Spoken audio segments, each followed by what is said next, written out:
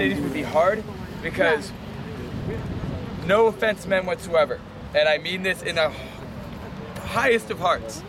You have Freedom Plaza and McPherson Square here, mm-hmm. and the two of us, we have the same viewpoints, and it, there's some trifling bullshit. Trifling bullshit. Trifling bullshit separating Yeah. us. But I really think that we could do a consensus where, from DC did it, we both did one, simply because there are two occupations here in DC. Would that be fair to a, I, I the feel like consensus that's here? fine. Yeah, Temperature check? We're gonna temperature check. yeah e- each occupation gets, gets